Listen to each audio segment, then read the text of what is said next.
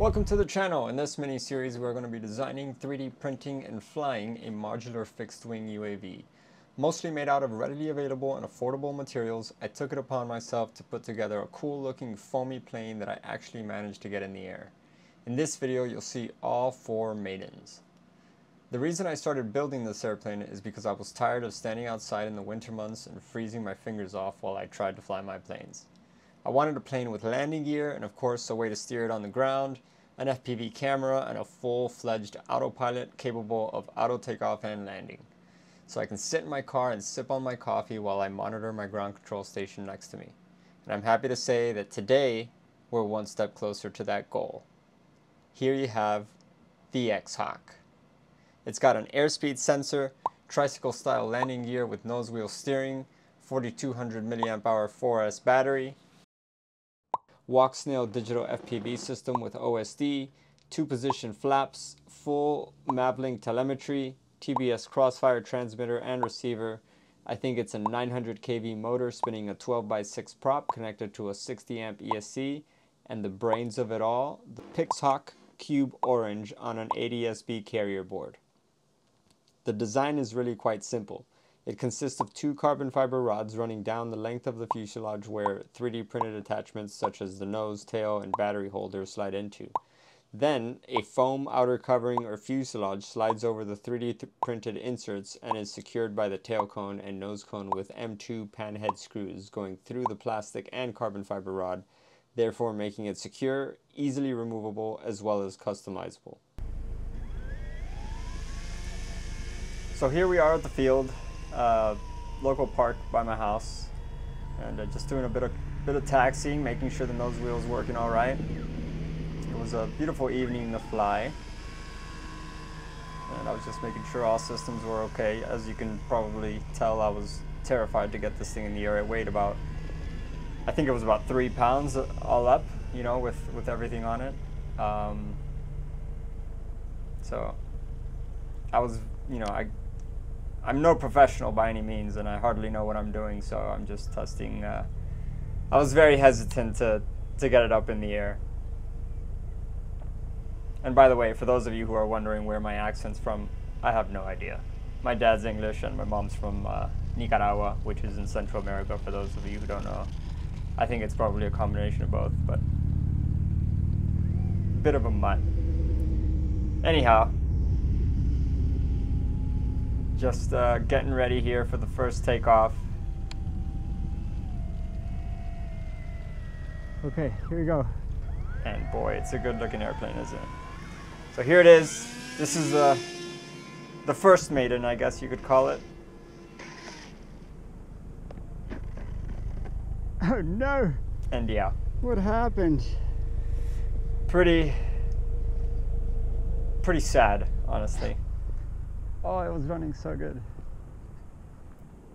It was a pretty pretty short flight, obviously, and uh, I'm not sure what what happened. I, maybe the CG was too far forward, but I, I remember double checking it, so it it should have been just right.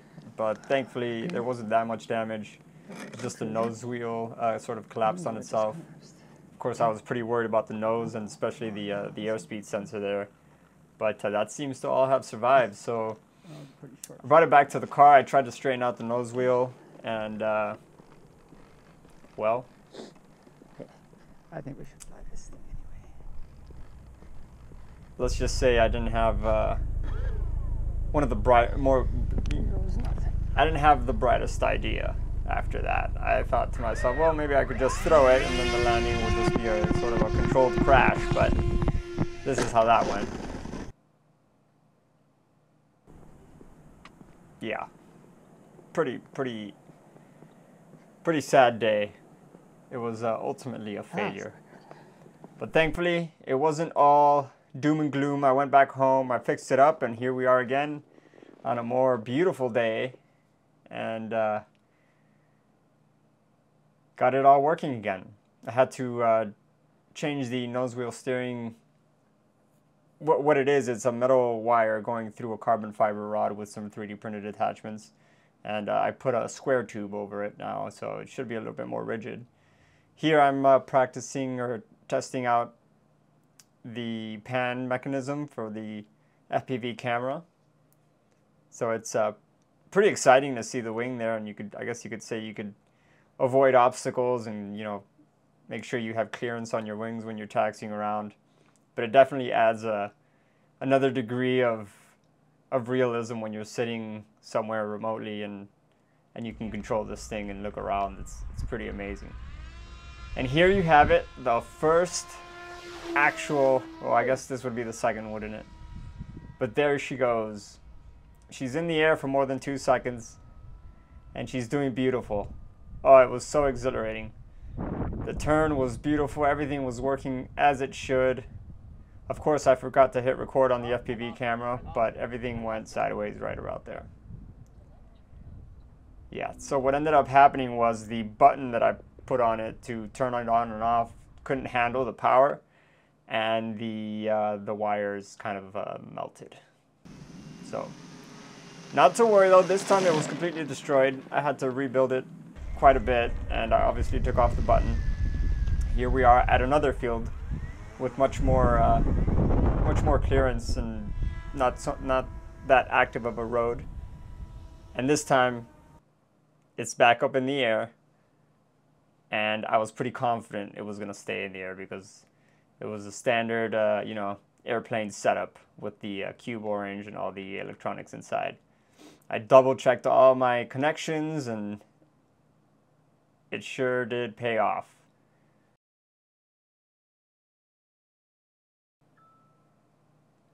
So here we are, just doing a few circuits around around the park. I made sure to stay away from any active roads, although I guess I did get pretty close there. and this was truly the first time I managed to get it up in the air and make it stay there.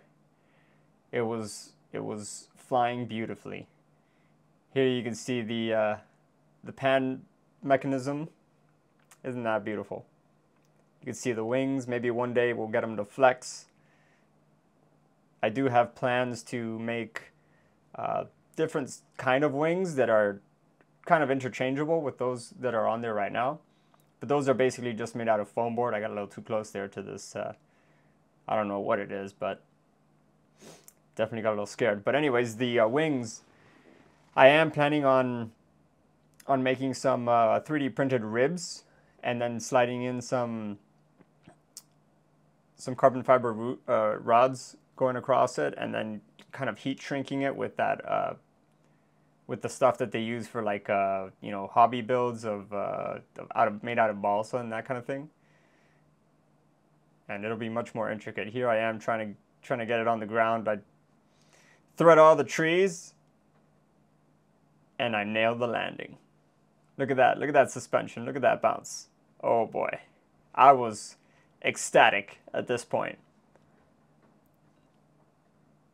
That was the first time I got it in the air and got it on the ground in one piece. And here we go again.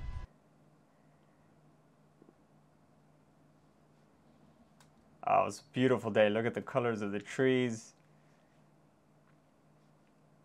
I was like a kid in a candy store that day. Made sure to get some uh, some good views of the changing leaves of the trees.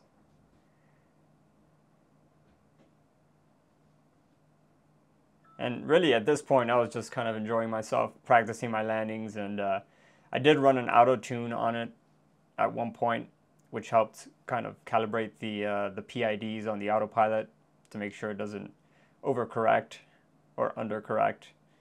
And here I am coming in for another landing. I noticed that the landing roll is pretty short, so I just figured I'd go over the trees instead of trying to cut through them. I didn't think I was going to hit any cars, but uh, unfortunately, this landing didn't go so well.